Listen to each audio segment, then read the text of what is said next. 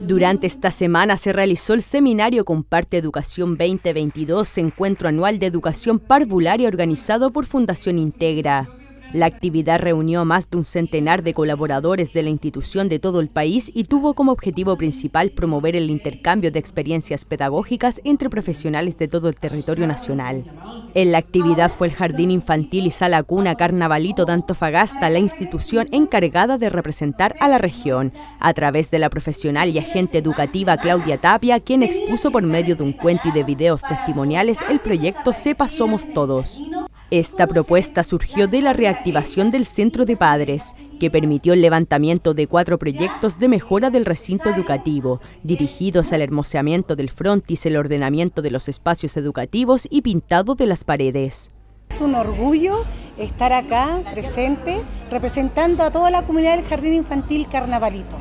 ya al Jardín Carnavalito, también con toda la comunidad el equipo del jardín, la comunidad, la junta de vecinos en el cual trabajamos constantemente en alianza con ellos. El proyecto en general de nosotros consiste en la reactivación de nuestro CEPA, Centro de Padres, para así lograr beneficios, postular a proyectos para el bienestar de los niños y las niñas.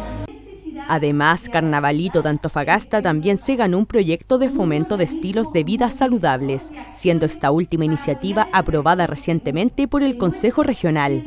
El proyecto del CORE es Vida Saludable desde la primera infancia. Como nuestro espacio del jardín son pequeños y con este proyecto logramos nosotros enriquecer nuestro espacio, van a haber talleres para la familia, para las tías, la comunidad, obviamente para los niños, donde vamos a aprender diferentes técnicas de folk dance, eh, vida saludable, la alimentación y todo lo que conlleva el poder llevar a cabo estilo de vida saludable. Por su parte, la directora regional de Fundación Integra, Alison Viveros, destacó los proyectos ejecutados por el Jardín Carnavalito, pues son un ejemplo para otras comunidades educativas e iniciativas fundamentales para fortalecer la educación inicial en niños y niñas.